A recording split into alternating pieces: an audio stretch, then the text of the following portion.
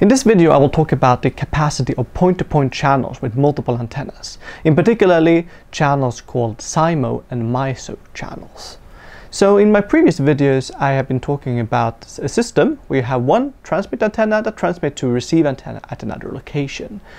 And this is called a single input, single output channel because of the single input antenna that transmits and the single output antenna that receives. And we have characterized the capacity which is log 2 or 1 plus the signal to noise ratio measured in bit per symbol. And this signal to noise ratio is the transmit power Q measured in energy per symbol. And then it's the absolute value square of G, which is the channel. And then we divide that by N naught, which is the noise variance. And we will now generalize this to some other cases. The first thing we will consider is a single input multiple output or SIMO channel where we have one transmit antenna and multiple receive antennas. Another scenario we'll look at is when we have multiple transmit antennas and one receive antenna. This is called a multiple input single output or MISO channel.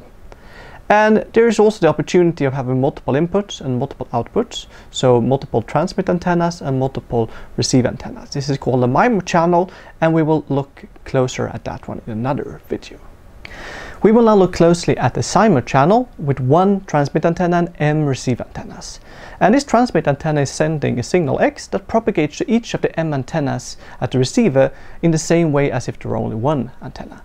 So Y1, which is a received signal at the first antenna, is going to be X multiplied with the channel response. And we call it G1 here because we want to signify which antenna it is to. And then we add N1, which is a noise at the first antenna.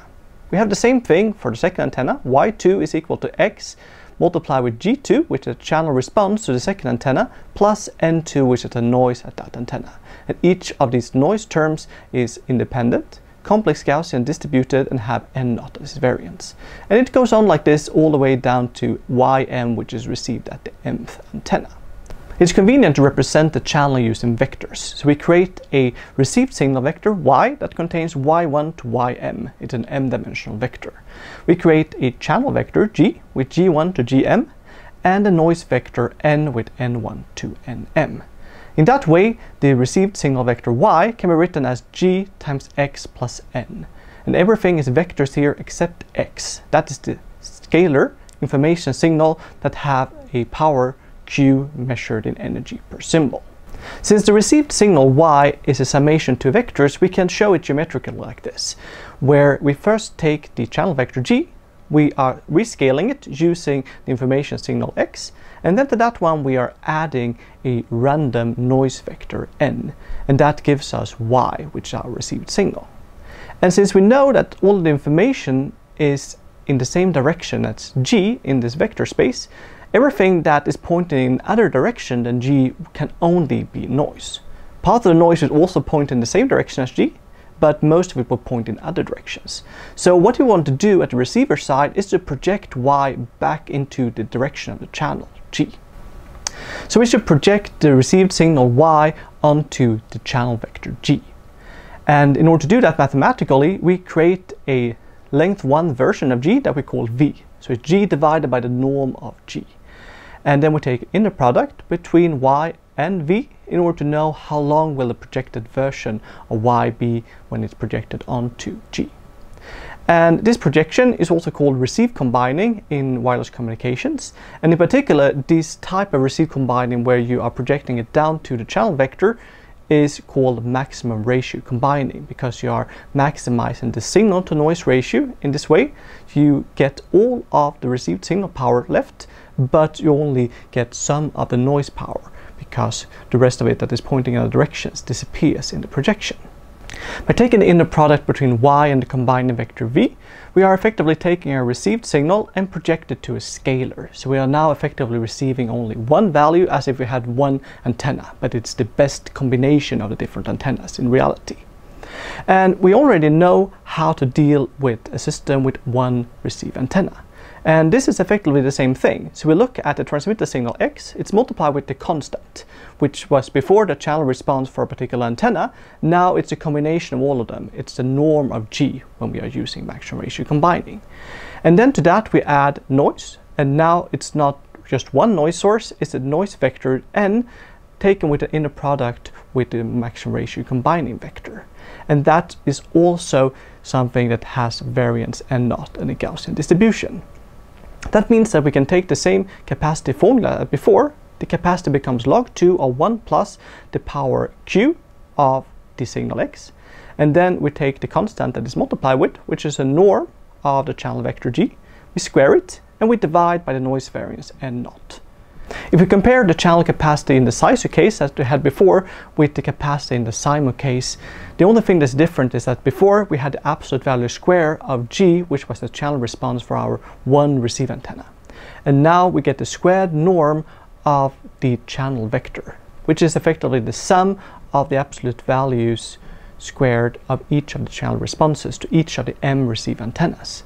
So if all of these absolute value square are the same, we will get an m times stronger signal, and we will never get something that is worse than having only one receive antenna. So that is the benefit, the type of beamforming gain that we are getting, but at the receiver side, we get to something that is roughly m times stronger than when you have only one receive antenna.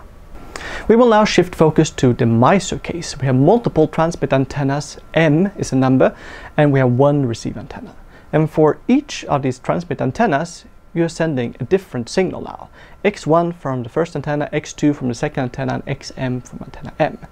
Each one of them are multiplying once again with the channel response, G1 for the first antenna, G2 for the second, GM for antenna number M. And then all of these contributions are added together over the wireless channel, and then we are adding one noise term at the receiver side, which we call N. And that gives us our received signal Y.